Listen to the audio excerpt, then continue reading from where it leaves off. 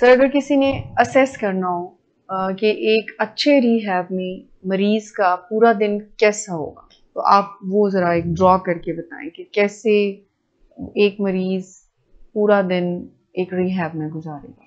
बहुत ही अहम सवाल है। आ, लोग ये जानना चाहते हैं कि जहाँ मरीज़ शबो रोज़ गुजारता है तो उसका वक्त कैसे गुजरता जी है? तो इसमें आसान है कि सुबह उठने का एक पक्का वक्त होता है।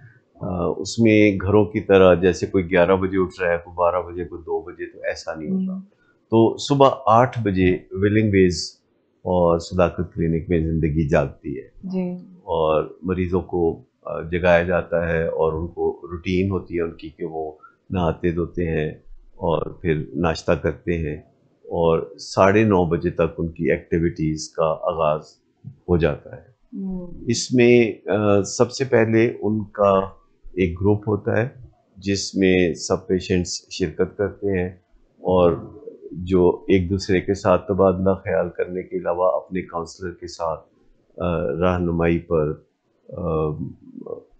जिसमें वो एक दूसरे के साथ भी बात करते हैं और उनका काउंसलर एक कोऑर्डिनेटर की तरह उनको अच्छे सवालों के ज़रिए रोशनी फराम करता है, रहनुमाई फराम करता है। और ये ग्रुप कोई नबे मिनट का होता है।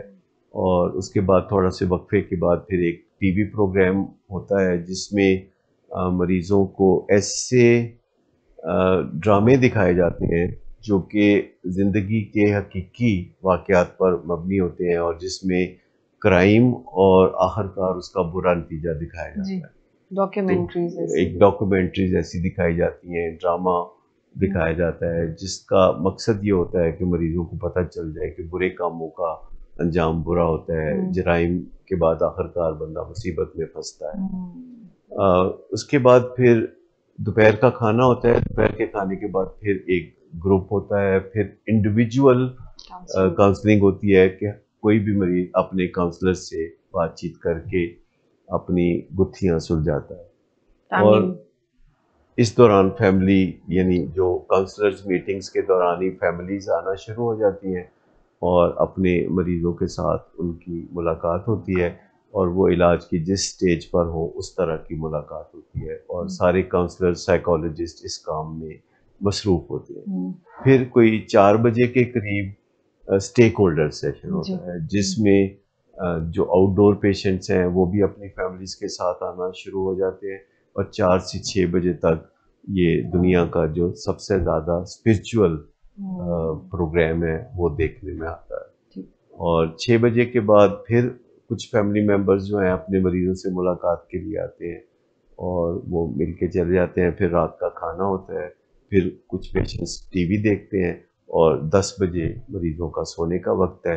उस वक्त लाइट्स ऑफ़ हो जाती हैं हम्म, और कई पेशेंट्स जागना पसंद करते हैं तो वो अंधेरे में आँखें खोल के सोचते रहते हैं कि उनकी ज़िंदगी कैसे बेहतर हो सकती है। और इस दौरान में वॉक्स वगैरह भी पेशेंट्स को हम करवाते हैं इंडोर्स में और ज़ाहिर है जो फ़िज़िकल एक्टिविटी है या एक्सरसाइज है वो भी दिन के मुख्तलिफ़ हिस्सों में मुख्तलिफ़ पेशेंट्स अपना अपना वक्त निकाल के करते हैं।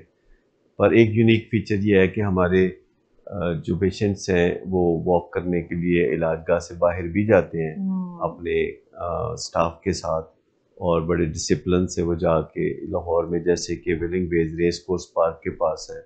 तो बहुत ही करीब एक रास्ता है जहाँ से हम अपने मरीज़ों को वॉक के लिए रेस कोर्स पार्क में भी भेजते हैं और हमारे मरीज़ जो है बड़े डिसिप्लिन के साथ वहाँ कुदरती माहौल में अपना वॉक करते हैं और फिर वापस आते हैं।